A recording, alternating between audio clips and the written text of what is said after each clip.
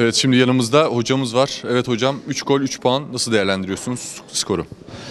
Ya skor e, normal yani maçın gidişatıyla e, doğru orantılı diye düşünüyorum ben. Maçın başında iyi başladık. E, yaklaşık 35 dakika falan e, çok da iyi oynadığımızı düşünüyorum ben. O 35 ile 45 arasında biraz bocaladık. İkinci yarıda yine fena başlamadık. Zaman zaman e, oyundan düştüğümüz anlar oldu ama pozisyonları bulan taraf yine bizdik. Üçüncü golü bulduktan sonra da daha rahatladık. Ondan sonra da zaten son e, baktığınızda 10 dakikada e, oyun kendiliğinden kopmuş vaziyetteydi. Ne bizimkiler atmaya çalışıyor ne onlar e, atmaya çalışıyorlar. Ortada kaldı. Böyle olunca da 3 puan bizim için olduğu için son derece sevinçliyiz.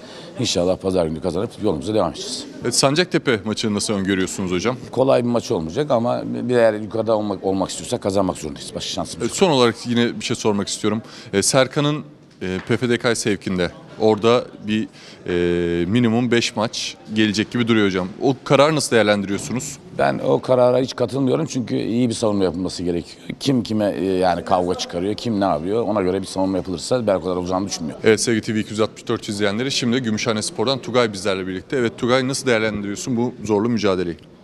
Öncelikle buraya puan ve puanlar almak için geldik. Yani Sakaryaspor'un güçlü bir takım olduğunu biliyorduk. Taraftarıyla bütün şimdi daha güçlü bir takım oluyor.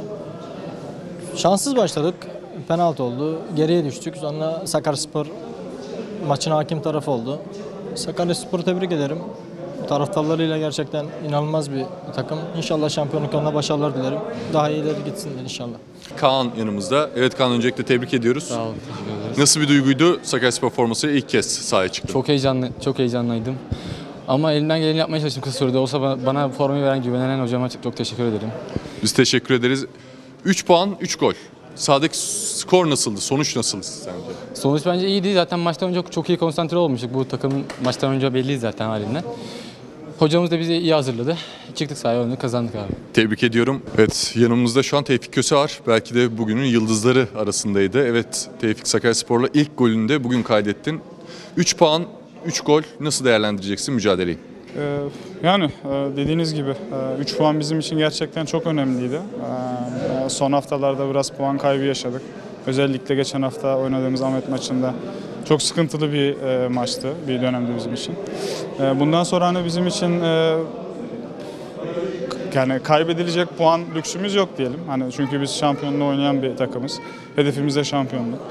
E, maça çok iyi başladık. Hani dönem dönem e, biraz sıkıntılar yaşadık maç içinde. O da gayet doğal bir şey. Çünkü e, çok kısa bir arada maç e, oynandı. E, yani 3 puan hak ettiğimizi düşünüyorum gerçekten. Hani top oynamaya çalıştık. E, göze hoş bir top oynamaya çalıştık. 3 puan aldık. E, yani umarım işte bu üçlü puan serisine devam ettirip şampiyonluk yolunda böyle devam ederiz inşallah. Evet, senin de son haftalarda yükselen bir form grafiğin var. Ekstra olarak tebrik ederim. Ve bu grafiği golle süsledin. Sakaryaspor formasıyla gol atmak nasıl bir duygu? Sen duygularını alalım sonra da seni istirahatine baş başa bırakalım. Ee, öncelikle teşekkür ederim. Ben e, gerçekten hani e, uzun zamandır oynayamadım, oynamadım. Hani farklı nedenlerden dolayı. Ee, Sakarya Spor ciddi manada hani buralara layık olan bir kulüp değil yani. Hani burada oynamak çok güzel bir şey, çok gurur verici bir şey. Yani tamamen hani tamam bu ligde oynuyorsun ama kendini tamamen atmosferle, taraftarıyla, her şeyle kendini tamamen Süper Lig'de hissediyorsun. Yani burada gol atmak çok güzel bir şey. Hani e, Umarım hani bunun devamı gelir, gelecek de ben kendime inanıyorum. Dediğin gibi hani üstüne katarak gidiyorum. Biraz e, eksiklerim var tabii ki hani e, uzun dönem oldu oynamayalı. Tamamen yüzde yüzümde de değilim ama hani bunu bir iki hafta sonra artık hani yüzde yüzüme ulaşırım diye düşünüyorum. Ama hocalarım tabii ki tamamen hani e, beni sürekli kontrol ediyorlar sağ olsunlar.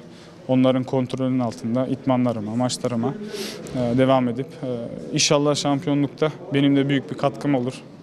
Biz de artık hani burada bir tarih yazabilsek ne mutlu bize yani. Çok teşekkürler bu arada. Geçmiş olsun diyelim hafta içindeki mücadele için.